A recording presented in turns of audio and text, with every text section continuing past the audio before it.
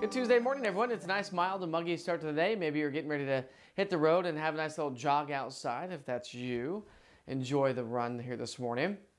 Uh, if you're getting ready to take the kids to school, it's nice and mild as well. And really looking at minimal chances for a few pop up showers and thunderstorms throughout the day today. Nothing at all from what we saw yesterday.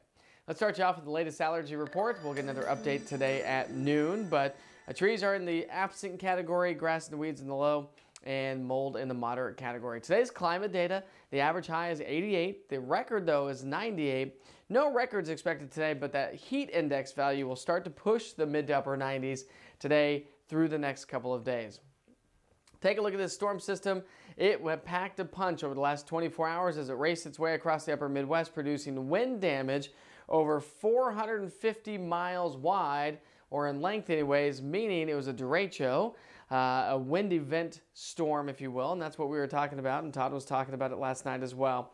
Uh, but uh, just a plethora of wind damage reports across the upper Midwest. We were tracking it, but it weakened as it moved its way on in, so it just brought us a couple of uh, light showers here this morning, and that's about the extent of it. And that's about all we will see out there so far to this morning as well. So really not looking at a whole lot of rain this morning, and uh, we should see a little bit more, a lot more sunshine today with a couple of pop-up showers and thunderstorms.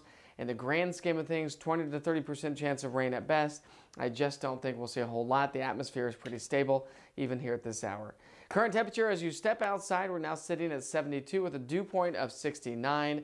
Uh, temperatures are trending about where we were yesterday morning, so no changes there. By lunchtime, we should be in the low 80s. That's where our high was yesterday, by the way. Uh, then this afternoon, we should make it into the upper 80s. Going 89 with a heat index value pushing 92 to 95.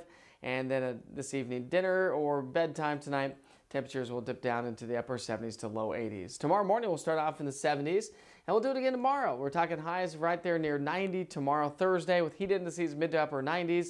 Uh, we'll stay in the upper 80s as we head into the upcoming weekend, probably increase the coverage of rainfall as we round out the week and head into the